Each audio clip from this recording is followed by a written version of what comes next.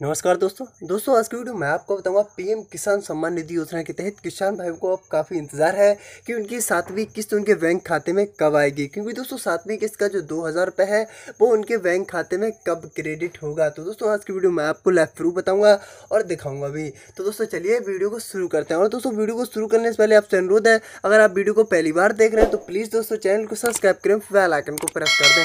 तो चलिए दोस्तों, वीडियो को शुरू करते हैं। तो दोस्तों, मैं आपको बता दूँ, पीएम किसान सम्मान निधि योजना के तहत किसान भाइयों को काफ़ी लंबे समय से बेसब्री से अब इंतज़ार हो गया है कि अब मेरा सातवां किस्त कब आएगा। क्योंकि दोस्तों, जो छठा किस्त है, वो तो सभी किसान भाइयों के खाते में क्रेडिट हो गया है। अगर दोस्तों, किसी भी वराहल किसी भी किसान भाई के खाते में छठवां किस्त क्रेडिट नहीं हुआ तो वो कमेंट करके हमें बता सकते हैं और हम उनकी हेल्प करेंगे और छठवीं किस्त का जो पैसा है वो क्रेडिट हो जाएगा। क्योंकि दोस्तों 9 अगस्त को सत्रह हज़ार करोड़ रुपए मोदी सरकार ने इलेक्ट्रिकल माध्यम से सभी किसान भाइयों के खाते में छठी किस्त के रूप में भेजे हैं। अब बात आती है सातवीं किस्त किसान भाइयों के खाते में कब आएगी? तो दोस्तों, मैं आपको बता दूँ, अगस्त के, अगस्त से आप चार महीने जोड़ लीजिए, चार महीने बाद सातवीं किस्त आपके बैंक खाते में आएगी। दोस्तों, ये बहुत बड़ी अपडेट है।